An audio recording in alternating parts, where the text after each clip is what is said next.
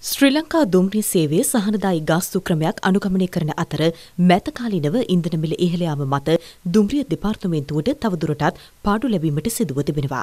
ඉහළ යමින් පවතින පාඩුව පියවා ගනිමින් සතුටුදායක දුම්රිය සේවාවක් පවත්වාගෙන යාමට හැකිවන පරිදි එම දෙපාර්තමේන්තුවේ ආදායම ඉහළ නංවා ගැනීමට අත්‍යවශ්‍ය වී ඇති බවයි දුම්රිය දෙපාර්තමේන්තුව පෙන්වා දෙන්නේ.